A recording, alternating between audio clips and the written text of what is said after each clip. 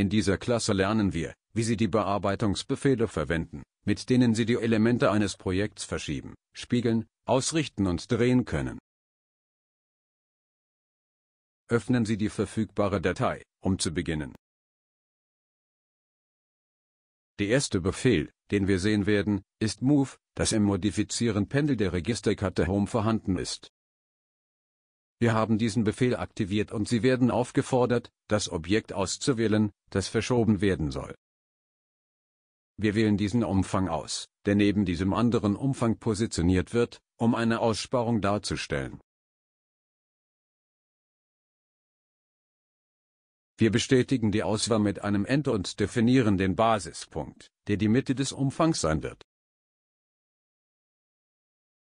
Sehen Sie, dass wir jetzt das Objekt verschieben können, und dass ein abgeblendetes Objekt an der Stelle angezeigt wird, an der sich das ursprüngliche Objekt befand. Wir klicken auf den gezeigten Mittelpunkt und sehen, dass wir den Umfang im Projekt neu positioniert haben.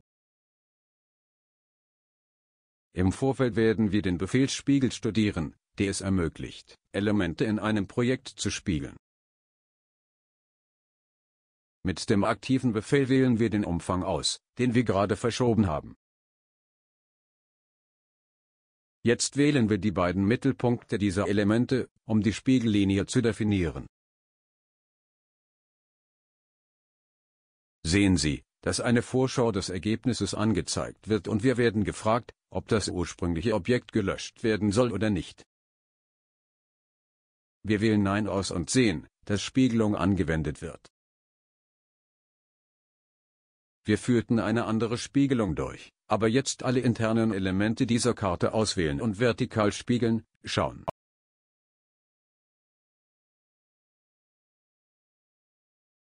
Bei den meisten Details, die im Inneren des Stückes definiert sind, richten wir diesen Rückprall in der Mitte dieser Ausschnitte aus. Dazu aktivieren wir den Befehl Ausrichten, der durch Klicken auf die Titelleiste des Bedienfelds Ändern angezeigt wird. Jetzt müssen wir das Objekt auswählen, das ausgerichtet werden soll und mit einem Enter bestätigen. Als nächstes definieren wir den Basispunkt für die Ausrichtung und den Zielpunkt.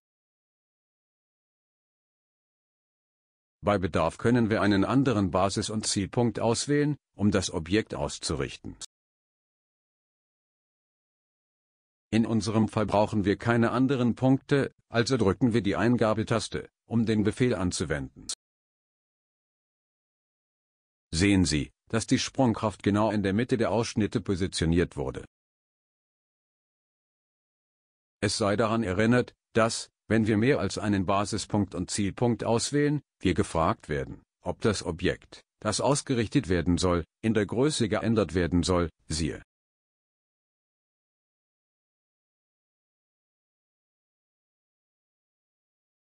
Sehen wir uns nun die Anwendung des Befehls Objektrotation an. Wir aktivieren den Befehl wie gezeigt, und wählen den gesamten Satz aus, den wir gerade entworfen haben, und drücken Sie die Eingabetaste, um zu bestätigen. Wir definieren den Basispunkt, der als Achse für die Rotation des Teils verwendet wird.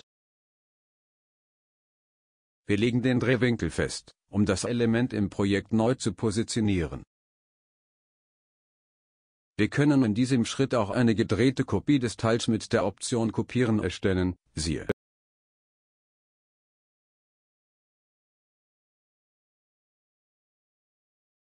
In einigen Fällen ist es notwendig, das Objekt aus einem Bezugswinkel zu drehen.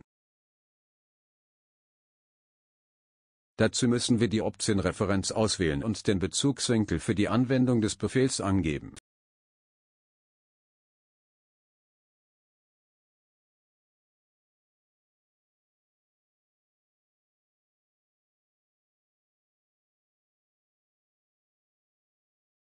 Und so haben wir diese Lektion abgeschlossen, in der wir gelernt haben, verschiedene Bearbeitungsbefehle zu verwenden, die es uns ermöglichen, ein Projekt schneller und praktischer abzuschließen.